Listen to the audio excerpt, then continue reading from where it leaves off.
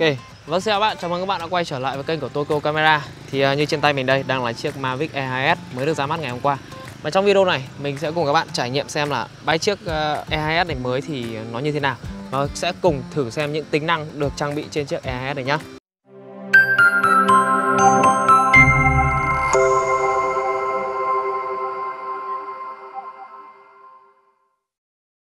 Ok thì uh, hôm nay thì bọn mình đang ở một bãi đất trống thì các bạn đã biết rồi. Điều kiện ở Việt Nam thì không cho phép mình bay ở trong khu vực uh, nội đô. Vậy nên hôm nay mình cũng ra khu vực gần sát ngoại thành một chút uh, để bay. Thì khung cảnh ở đây thì nhìn hơi kiểu đồng cỏ một chút thì anh em có gì thông cảm.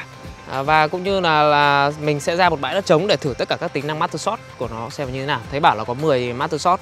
Và cũng như là test tất cả những cái hệ màu cũng như các thể loại bitrate có ở trong ngày hôm nay thì à, hôm nay thì trời hơi nắng nhẹ, uh, chuẩn bị có mây mưa Tuy nhiên thì khá là nóng và mình đang quay ngoài trời.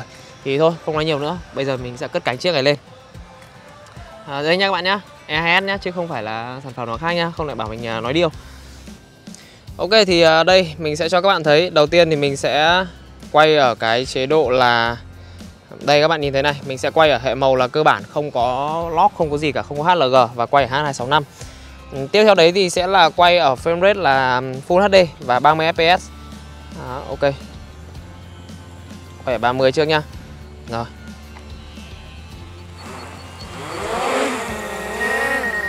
Đó, lên rồi. Ok.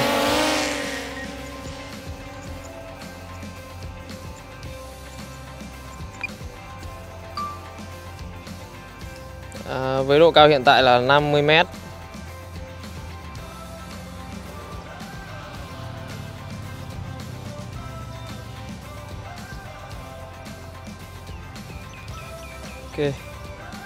Và với cái ờ, chế độ Full HD này thì các bạn có thể zoom được lên đến ờ, 8x à, Mình sẽ thử bật zoom 8x xem nó sẽ như thế nào.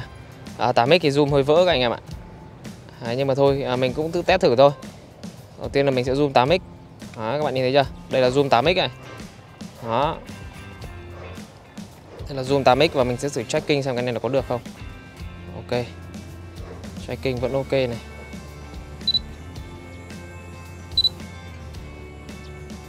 Đó, và bây giờ mình đang thử dùng cái tính năng Active Check mới nhất của uh, chiếc này. Thì nữa mình sẽ hạ thấp nó xuống và để xem là nó có ấy được không. Ok, đây là 8x Tiếp theo đó là mình sẽ lên đến là 2,7k Và FPS vẫn quay được là 60 frame. Và mình sẽ chuyển để frame rate cao luôn. Để xem là nó sẽ như thế nào. À, Hiện tại thì mình đang ở khu vực bên uh, Vĩnh Hưng. Vậy nên là nó khá là gần sông.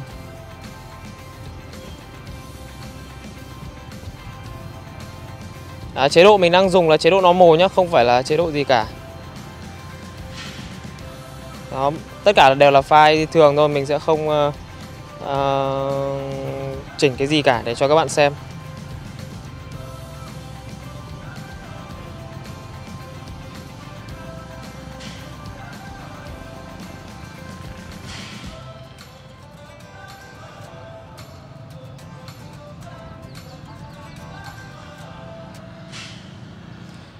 À, với cái này thì chúng ta sẽ chỉ zoom được khoảng tầm là 2x thôi. Tuy nhiên thì 2x thì cũng đủ để tạo góc ờ, có một vài góc ờ, cine rồi. Giờ mình sẽ thử xem sao. À, bay ở C1 nha.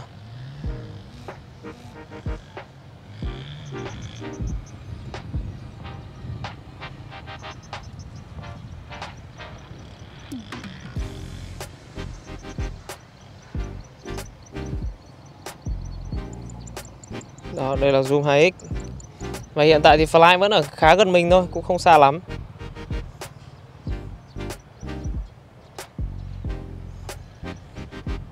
Đó. Đây là 2x và đây là 4x Chúng ta vẫn còn zoom được 4x nhưng mà vỡ lắm Nên mình sẽ để thế này thôi. Và đó là 2,7K Và tiếp theo thì sẽ là 4K 4K thì chúng ta vẫn có thể quay được ở 60 frame như bình thường. Nói chung là giống với chiếc Mavic E2 Và bây giờ thì mình sẽ thử sang một góc khác nhé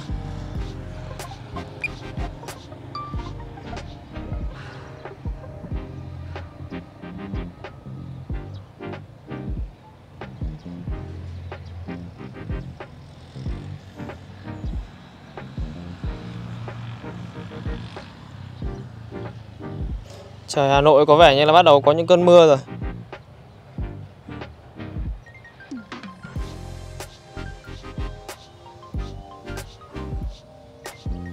Đó, và nó là 4K 4K thì chúng ta sẽ không zoom được nữa. Đó, rất tiếc là chúng ta sẽ không zoom ở mà độ phân giải là 4K Còn đây là cái đoạn đường bọn mình đang đứng này.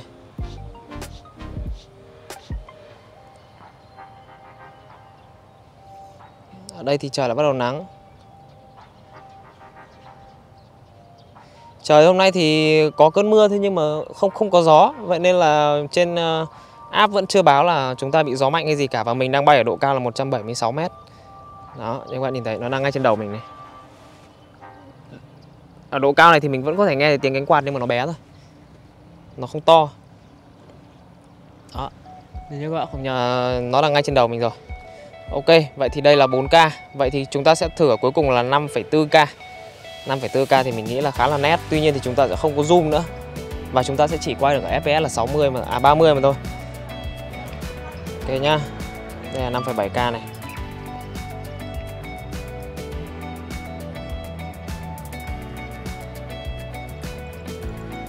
Mình nghĩ là mình sẽ bay cao lên một chút nữa.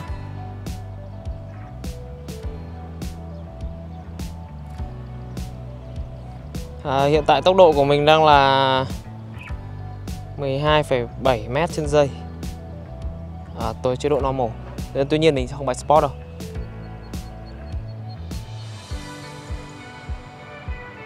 Nếu như mình không nhầm thì đây là cầu Thanh Trì các bạn ạ. Mình đang bay ở gần khu vực cầu Thanh Trì. Mong là không có cái gì ờ, xảy ra ở đây. Không còn đang bay mà hẹo fly là mệt lắm. Vừa em mở hộp hôm qua mà.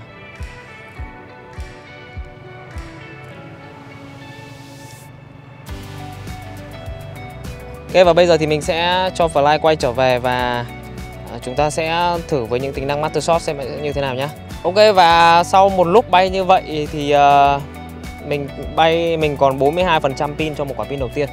Và tất nhiên rồi mình mang đầy đủ ba quả pin. À nói về pin thì các bạn sẽ có một điểm à, khá là hay nữa là các bạn có thể dùng pin của E2 ờ, và hiện tại thì trong khi mình đang bay này thì có một quả pin của E2 tại vì là pin hôm qua mình chưa kịp sạc nó đang hết mất hai quả và hầu hết là hôm nay mình sử dụng pin của E2 và một quả mặc định của nó. Còn bây giờ thì mình đang hạ fly xuống. Đây ạ. À. chiếc fly là chúng ta đâu à, ngay trên đầu mình. Như các bạn có thể nghe thấy thì gần như là mình không nghe tiếng máy bay khi mà chúng nó bay gần mình đâu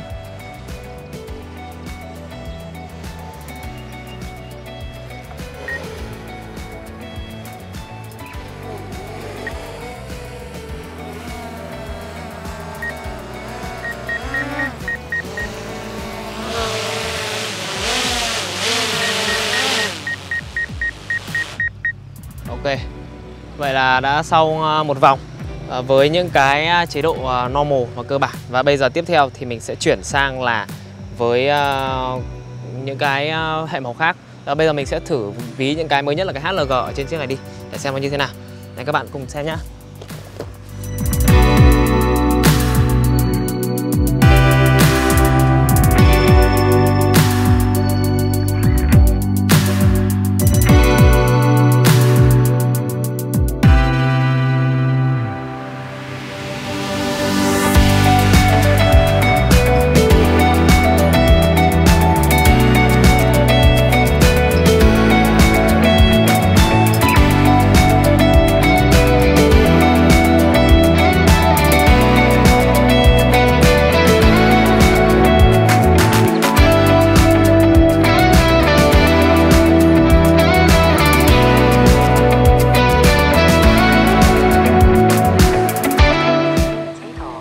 và tiếp theo đây thì mình sẽ thử là Master Shot.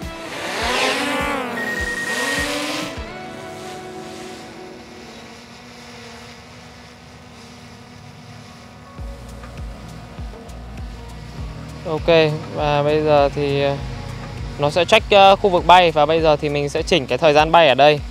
Ok, mình cứ để mặc định đi và chúng ta start.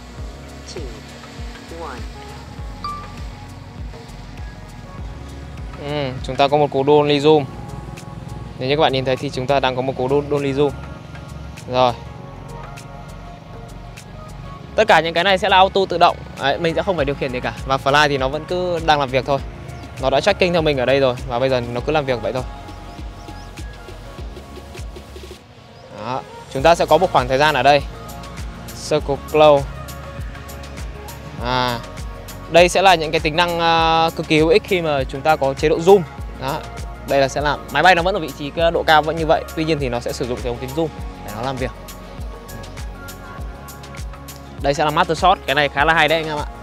Mình thấy cái này đáng giá trên chiếc này đấy.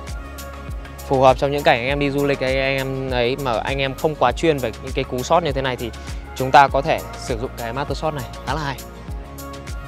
Đó. Nó sẽ tự động uh, sắp xếp những cái cảnh đấy để cho anh em sao cho nó phù hợp nhất đó circle pha.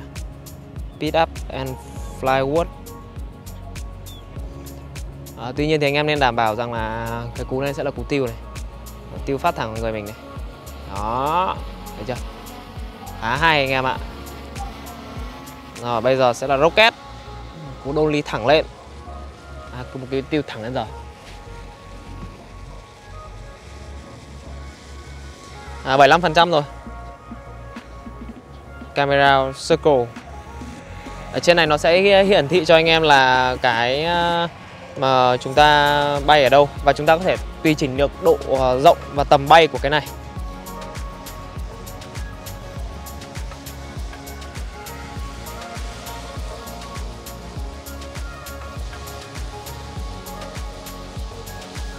Camera down, descend. Ok. Vậy là nó đã hoàn thành xong cú master shot và bây giờ thì nó đang quay trở lại vị trí lúc ban đầu mà mình đang bay. Gần như là mọi hệ thống đều tự động hết. Rất hay đúng không ạ? Và bây giờ thì mình đang thử chuyển sang chế độ là photo như các bạn nhìn thấy ở trên màn hình. À, Hiện tại là mình đang để single và mình sẽ chụp một tấm. À, Và chúng ta sẽ có hai chế độ là RAW và JPEG thì mình sẽ để chụp cả hai nhé cho anh em nhìn.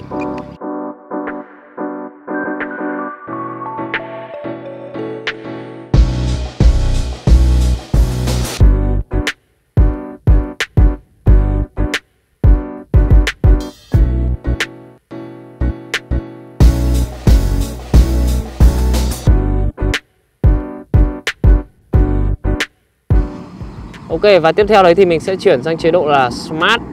À, Ok.